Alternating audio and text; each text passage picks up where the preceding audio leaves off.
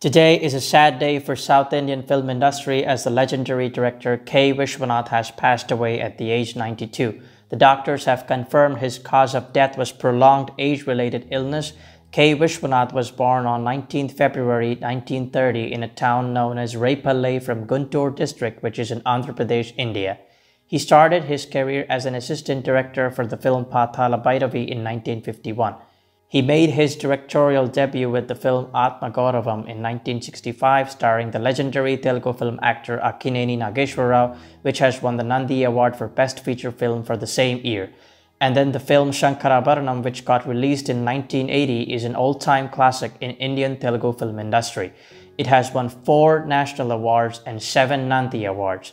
Later, the films Swathimutyam and Sirivennala from the year 1986 are two other films with his artistic touch. Viswanath has also directed Hindi language films such as Sargam, Kamchor, Shubkamna, Jaag Utha Insan, Sursangam, Sanjog, Ishwar, Sangeet, and Dhanwan.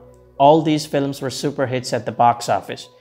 In 60 years, he has directed 53 feature films in a variety of genres, including films based on performing arts, visual arts, and aesthetics.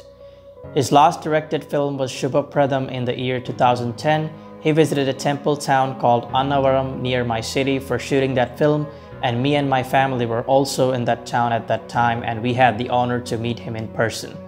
In total, he has won 5 national awards, 7 state Nandi awards, 10 Filmfare awards in South and a Filmfare award in Hindi.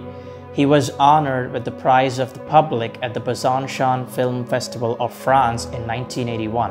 In 1992, he received the civilian honor Padma Shri for his contribution to the field of arts. In 2017, he was conferred with the Dada Saheb Phalke Award, the highest award in Indian cinema. Viswanath's filmography is known for addressing the issues of caste, color, disability, gender discrimination, misogyny, alcoholism, and socioeconomic challenges through liberal arts medium.